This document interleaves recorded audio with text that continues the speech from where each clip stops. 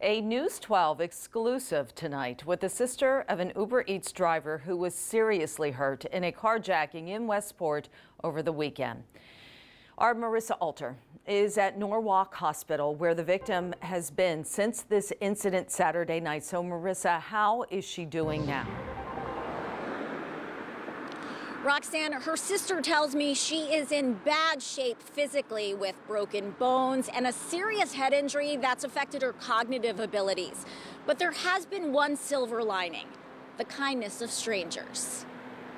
Doing Uber Eats every night. She loved it. She never, ever imagined that she would pick up a bag in five seconds, turn around, and have the experience she had.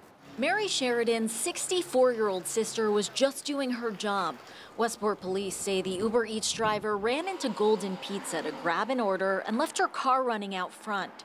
When she saw a man get into it, she tried to stop him and ended up in the ICU with brain bleeds. She was hit on her head, so she is very confused and her brain is swollen and that'll probably be the most difficult recuperation. Sheridan's sister also has fractures in one of her arms and hands, along with a hip injury that's left her unable to walk. She needs to be transferred to a rehabilitation center, but that's been difficult without health insurance. Working for Uber Eats was her sole source of income. She's come upon really hard times, and especially during COVID, it was kind of making ends meet. Now, Sheridan's sister is getting some help from the Westport community a stranger started a GoFundMe campaign. She just out of the blue did that. Which has raised more than $29,000 so far. I'm just so thankful.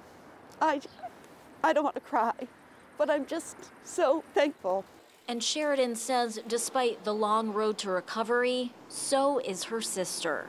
She keeps saying, within her confusion, I can't believe this community, all these people did this for me.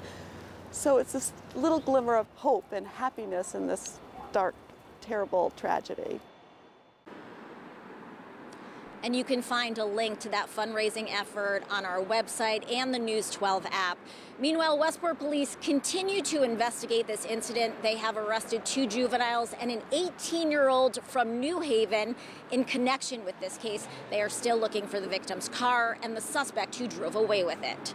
In Norwalk, Marissa Alter, News 12, Connecticut.